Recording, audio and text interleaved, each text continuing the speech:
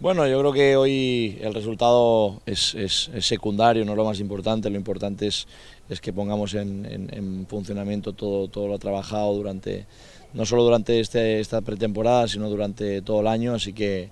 eh, una valoración positiva por, el ritmo que hubo delante de, de enfrente de un, de un gran rival que también, también intentó jugar desde el principio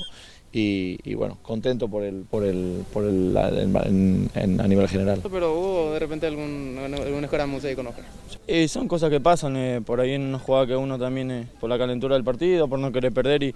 y son jugadas que pasan, eh, por suerte terminó ahí, aunque en un partido oficial sabemos que por ahí se lo echa uno, pero bueno, son cosas que pasan, también el físico por ahí siente al final que, que no hay, de repente menos monotazo o una pierna dura, así que, pero cosas que terminó ahí, por suerte todo, todo bien con Oscar.